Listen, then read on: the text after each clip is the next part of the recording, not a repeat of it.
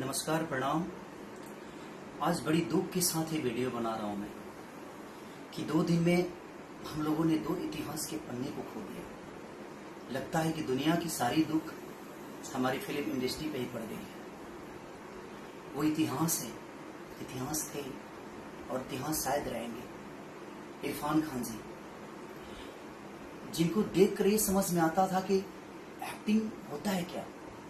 क्योंकि वो कभी एक्टिंग किए ही नहीं। लगता था कि नेचुरल कुछ हो रहा है और उन्हें देखकर मुझे लगता है कि करोड़ों लोग उन्हें देखकर एक्टिंग किए और एक्टिंग सीखे और अपना घर परिवार चला रहे आज मुझे लगता है कि पूरे हिंदुस्तान ही नहीं, पूरे वर्ल्ड को सुना करके इरफान खान जी चले गए।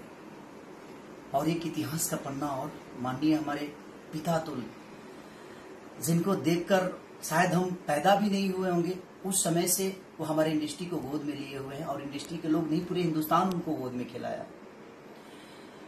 माननीय ऋषि कपूर जी, ऋषि कपूर साहब आज हमारे बीच नहीं रहे। तो दो दिन में हम लोगों ने दो इतिहास के पन्ने को खो दिया, बट उनका किया हुआ। मुझे लगता है कि जब तक धरती रहेगी, जब तक आसमान रहेगा, तब तक उनका किया हुआ चीज़ हम लोगों के बीच में रहेगी।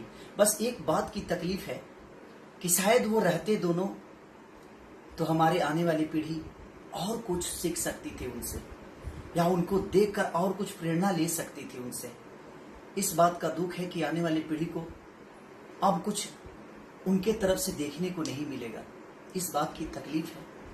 बट मैं ईश्वर से ही प्रार्थना करूँगा, अल्लाह से यही प्रार्थना करूँगा कि अल्लाह उनको जन्नत दे और ईश्वर उनको स्वर्ग में जगह दें, जो कि उनकी की हुई चीज़।